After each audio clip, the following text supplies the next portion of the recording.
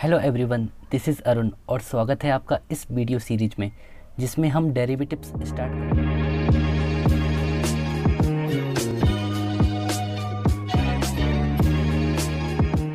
तो सबसे पहले डेरिवेटिव की होता क्या है, उसकी डेफिनेशन देख लेते हैं। सपोज़ एफ़ आपका एक फ़ंक्शन है, यहाँ पे देखिए एफ़ आपका एक रियल वैल्यूड फ़ंक्शन है। तो मैंने आपको पहले बताया था रियल वैल्यूड फ़ंक्शन क्या होता है? ऐसा फ़ंक्शन जिसकी रेंज रियल नंबर आए वो रियल फ़ंक्शन है। तो हम डेरिवेटिव फ़ंक्शंस का निकालते हैं और कौन से फ़ंक्शंस रियल वैल्यूड फ़ंक्शंस अगर सपोज़ एफ़ आपका एक रियल वैल्यूड फ़ंक्शन है और ए आपका कोई भी पॉइंट है उसकी डोमेन में तो एफ़ का डेरिवेटिव किसी पॉइंट ए पर इस तरह डिफाइन होता है। Limit H tends to zero F of A plus H minus F of A upon H okay but limit exist होनी चाहिए, तभी डेरिवेटिव डिफाइन है। अगर उस फ़ंक्शन की लिमिट ही एग्जिस्ट नहीं करती उस पॉइंट पर तो उसका डेरिवेटिव भी नहीं एग्जिस्ट करता या नहीं फाइंड कर सकते हम, ठीक है? और डेरिवेटिव को हम किस तरह नोटेशन करते हैं? Suppose y is equal to F X आपका एक फ़ंक्शन है।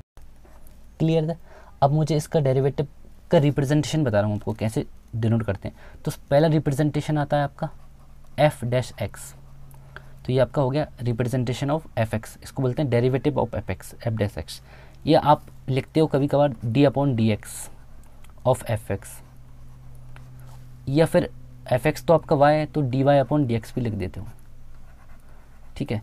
ये तो आपका जनरलाइज है। अब मैं एक्स इजल टू ए की बात करूँ तो आप डिनोट करते हो एफ़ डैश ए इस फॉर्म में आप एफ़ डैश ए लिखते हो। अगर आप ऐसे लगोगे तो D upon D X of F X यहाँ पे आप लाइन खींचते हो at X is equal to A इस तरह। और इसको कैसे लिखते हो? D Y upon D X at X is equal to A तो ये आपके तीन नोटेशंस हुए डेरिवेटिव के। डेरिवेटिव को ही डिफरेंशिएशन बोलते हैं आप। ओके अब देखिए, अगर मैं एक्चुअल फार्मूले की बात करूँ तो डेरिवेटिव का जो एक्चुअल फार्मूला है, वो ये होता है आपका।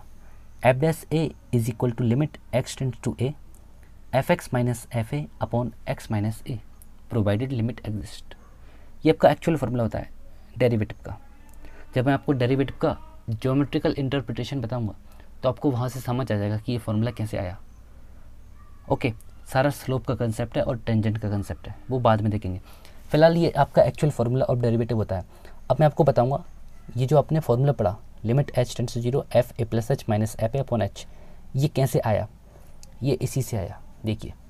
इसकी लिमिट एग्जिस्ट करती है मतलब मतलब इसकी लेफ़्ट हैंड लिमिट और राइट हैंड लिमिट इक्वल होंगी, है ना? तो मैं दोनों लिमिट निकाल के इक्वल कर देता हूँ, है ना? तो लेफ़्ट हैंड लिमिट को इक्वल कर दूँगा मैं राइट हैंड लिमिट के। ओके लेफ़्ट हैंड लिमिट निकाल लेता हूँ limit X tends to A है तो X tends to A minus F X minus F A upon X minus A equal limit X tends to A plus A plus क्यों किया? Right hand limit निकाल रहा हूँ। F X minus F A upon X minus A clear okay अब अब इसको convert करते हैं हम एच के फॉर्म में.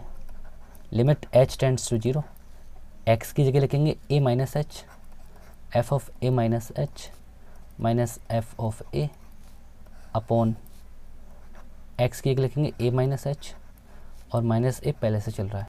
Is equal to limit H tends to zero F X की जगह लिखेंगे F of A plus H minus F of A upon A की जगह लिखेंगे एक्स की जगह A plus H minus A ठीक है, ये ए ए कैंसिल हो जाएँगे आपस में, ये ए और ये ए भी कैंसिल हो जाएँगे।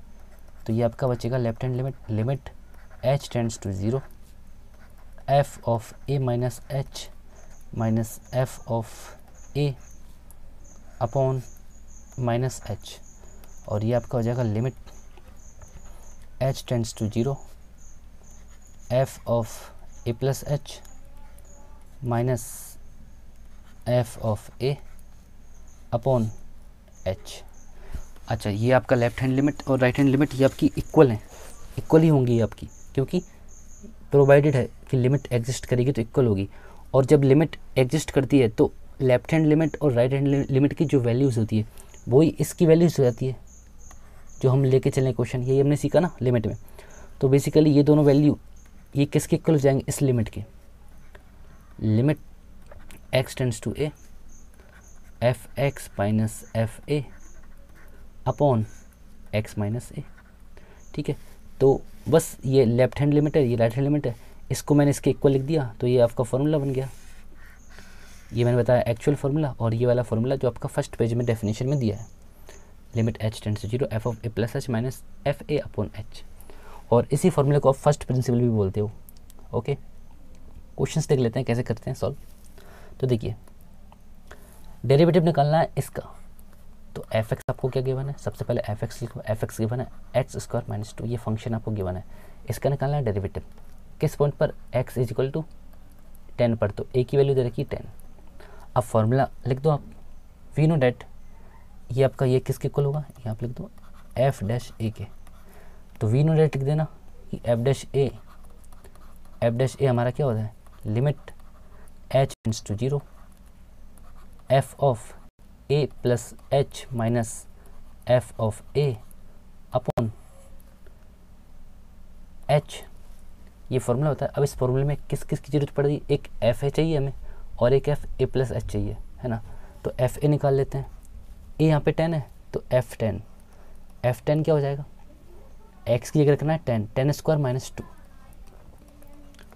Hundred minus two, base is equal to ninety eight.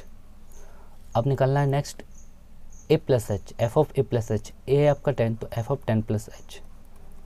X square minus two तो टेन प्लस एच का स्क्वायर माइनस टू। तो ये आपका हो जाएगा टेन का स्क्वायर प्लस एच का square plus twenty H minus two. ये आपका hundred minus two ninety eight plus H square plus twenty H. Okay, इसको यहाँ पे पुट कर देंगे। नाइन्टी एट आ गई एफ़ ए की वैल्यू और एफ़ ए प्लस एच की वैल्यू आ गई दिस। तो यहाँ पे पुट करेंगे तो अपना आंसर आएगा limit H tends to zero.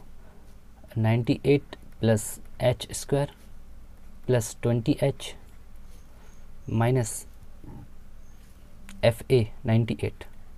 Upon upon में क्या है? एच अब देखिए नाइन्टी एट से नाइन्टी एट कैंसिल और यहाँ से limit H tends to zero H यहाँ से कॉमन आ रहा है, ये कॉमन ले लिया। और अंदर बचेगा H minus plus twenty upon H H से एच कैंसिल हो जाएगा। फाइनली अब यहाँ पे एच की जगह ज़ीरो पुट कर सकता हूँ तो आंसर आ गया ट्वेंटी इस तरह हम सॉल्व करते हैं, बस फॉर्मूला आना चाहिए, है ना? अब इसका derivative question number two derivative निकालना है नाइनटी नाइन एक्स का x is equal to hundred पर तो ए की वैल्यू दे रखी है हंड्रेड है ना? और एफ़ ऑफ़ एफ़ एक्स दे रखा है नाइन्टी नाइन एक्स और f of a f hundred क्या होगा यहाँ पे? Ninety nine into hundred which is equal to ninety nine hundred f of a plus h तो f of hundred hundred plus h क्या होगा? एक्स की जगह करना है? हंड्रेड प्लस एच तो ये जाएगा ninety nine into hundred plus h. Solve कर लेते हैं, ninety nine hundred plus ninety nine h. बस फॉर्मूला में ये वैल्यू पुट कर देते हैं। फॉर्मूला क्या होता है? F dash a is equal to f of a plus h minus f of a upon h. F of a plus h क्या है आपका? Ninety nine hundred plus ninety nine h minus f ओ पे क्या है आपका?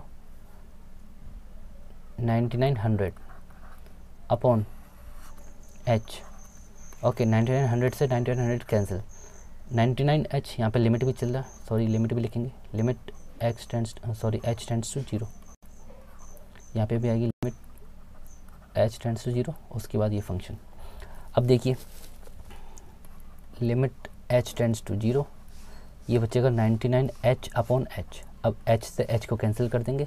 और limit यहाँ पे कोई एच नहीं बचा तो इसका आंसर हो जाएगा नाइन्टी नाइन सिंपल ये आपका आ गया.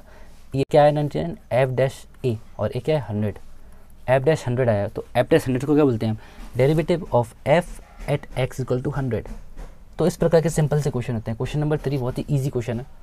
ये आपका होमवर्क है. कीजिए. सिंपल सा क्वेश्चन है. ओके तो इस वीडियो में बस इतना ही. नेक्स्ट वीडियो में आपको बताऊँगा फ़र्स्ट प्रिंसिपल का फॉर्मूला फिर से. और उस पर बेस्ट कुछ क्वेश्चन ओके तो कोई भी डाउट होता है आपको कमेंट बॉक्स में लिखिए। और आपको अगर कोई और क्वेरीज आती हैं तो डिस्क्रिप्शन में जाके आपको व्हाट्सअप ग्रुप का लिंक मिलेगा और टेलीग्राम ग्रुप का लिंक भी मिलेगा। उसे ज्वाइन कीजिए क्वेश्चंस पूछिए और अच्छे से पढ़ते रहिए। धन्यवाद।